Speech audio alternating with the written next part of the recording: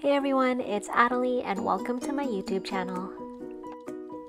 On March 10th, the Gentle Monster and Jennie from Blackpink Jentle Garden collaboration dropped and I had to get a pair. It shipped pretty quickly and I wasn't expecting to have it until next week.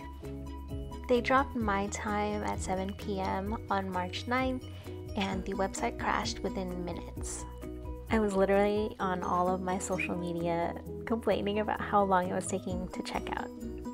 Of course, I probably should have expected that because that's what happened to the Jentle Home drop back in 2020, and that was actually my first unboxing video, official unboxing video on my YouTube channel.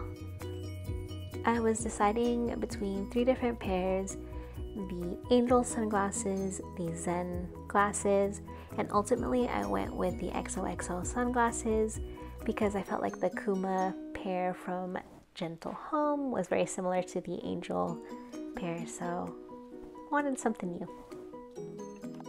Anyways, I hope you enjoy this unboxing.